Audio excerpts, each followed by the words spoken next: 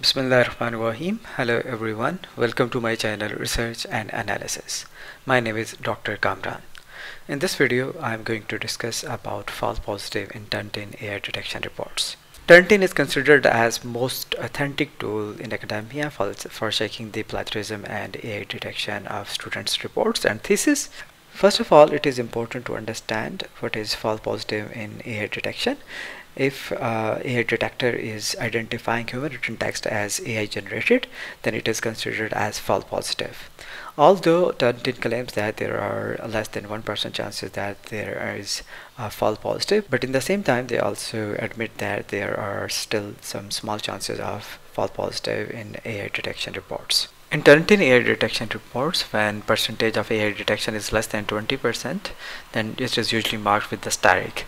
As you can see this report, it here the AI detection is 15%.